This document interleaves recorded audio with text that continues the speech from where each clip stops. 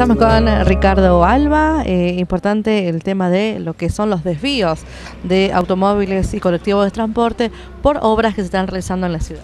Sí, están realizando la obra, por ejemplo, entre la, avenida Juan José Paz y avenida Catalano, entre la calle Monteagudo. Esa es la obra que se está realizando. Es por eso que los cortes de los colectivos este, los desvíos de colectivos van a ser, el que venga de San Salvador de Jujuy va a ser por la Congreso, Río de la Plata, extensión de la Juan José Paso hasta la, hasta la calle Aramburo. Desde el Aramburo eh, este, salen a la avenida Catalano. El, recorrido de, de Palpalá Jujuy es por avenida Catalano, Azul, América, Catamarca, Juan José Paso y avenida Río de la Plata. Ese es el recorrido que tienen los, vehículos que van al San de Jujuy. Ese también va a ser una alternativa para los particulares, ¿no? Los particulares también. También tanto este gran porte que es el colectivo, este, también este, para los particulares.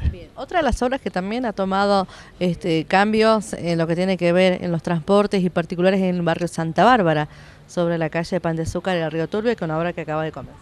Sí, eh, también, también están este, realizando obra y yo pienso que es para el bien de, la comunidad, no es, este, pedimos perdón por, los desvíos que estamos haciendo, porque en realidad eh, nos favorecemos todos.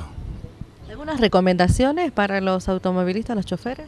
Que a los choferes que por favor acaten las órdenes de los inspectores, primeramente, y segundo, eh, que este, en cada esquina va a haber un cartel donde, donde se van a realizar los desvíos.